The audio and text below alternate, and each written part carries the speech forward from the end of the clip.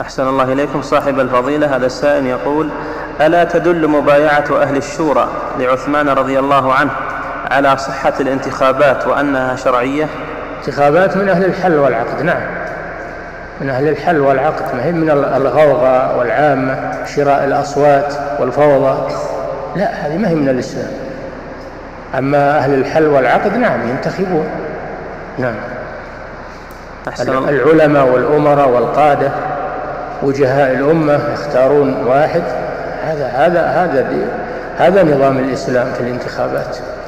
أما الفوضى والغاغة والنساء والأطفال هذا نظام الغرب نظام غربي.